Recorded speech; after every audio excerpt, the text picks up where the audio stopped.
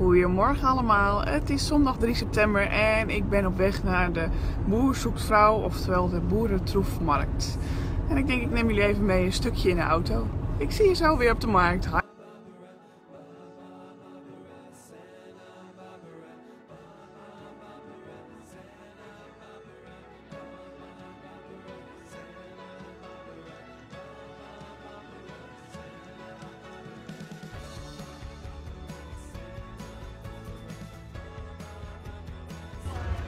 Goedemorgen allemaal en welkom bij weer een nieuw boerenvlog.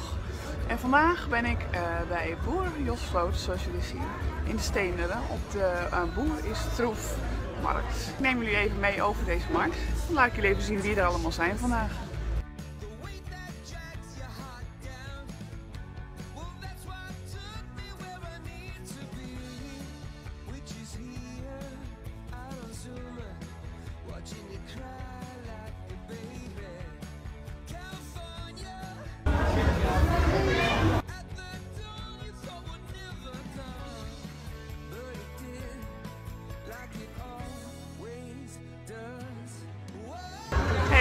Jongens, en kijk eens wie ik hier zie.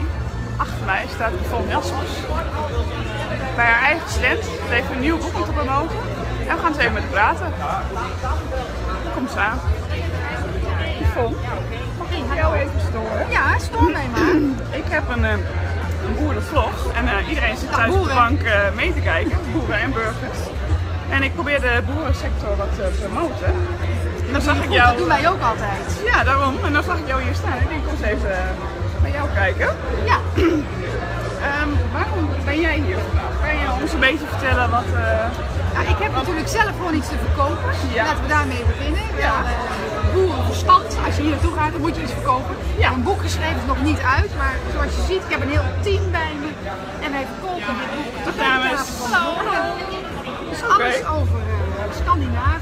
Scandinavische keuken. Heel Ja. makkelijk, heel simpel en super inspirerend.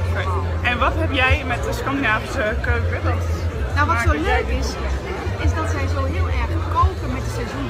Nog veel meer dan wij. Hun winter is heel lang Ja. en hun zomer is heel kort. Ja. Dus zij moeten in die paar maanden zomer alles oogsten en daar de hele winter mee doen. Ja. dat is zo leuk hoe zij bijvoorbeeld dingen bewaren. Ze graven gewoon een kuil in de grond en daar bewaren ze hun wortels en bieten en aardappels. En de hele winter lopen ze in de tuin en halen ze het gewoon weer uit de grond. Ja, Dat maar soort de aarde dingen. daar is natuurlijk ook kouder dan... Ja, het is net allemaal iets kouder. Maar ik denk wel dat we heel veel dingen van hun kunnen leren als het gaat om die hele lange winter Ja. overleven. Want die hebben wij ook. Ja. Dus dat vind ik wel, daar zijn de dames op het land nog veel zieliger dan dat ze hier zijn. Ja. ja. Ze zijn nog veel, ook veel uh, productiever ook op een bepaalde manier. Veel, eh, alles wordt nog zelf gemaakt, zelf bereid. ja, veel meer dan bij ons. Veel meer chutneys en jam en inmaak en Alles het zuur zetten. En lang, lang, lang bewaren. Ja. En alles buiten. Buiten eten, buiten koken. Zij zeggen, slecht weer bestaat niet, bestaat alleen slechte kleding. Dat is wel een hele goede. En daar gaat het boek over. Oké, dat is dus heel interessant. Dus ik zou zeggen, dit is nu nog met voor je schrijven. Ja, nu, maar over een maandje is het uit. Over een maand. Dus over een maand kan iedereen hem online eh, bestellen. Ja, gewoon met boekhandel. Ja, En je hebt zelf ook een eigen moestuin dan? Je Ja. weet zelf ook thuis ja, je eigen... ja, ik kom op het moment ook in de snijboom. Ja, Willem iedereen- staat hier snijboom te kopen. iedereen geloof ik.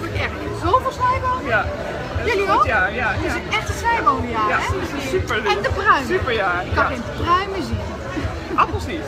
Nee. Dus het is een slecht jaar. Nou goed, eh Yvonne, Nou, we eh, zijn weer op de hoogte, hè? Ja. En dan eh, wens ik je nog een fijne dag verder. Jij ook. Goed, dag dames. Tot ziens. Wel, dankjewel voor het kijken.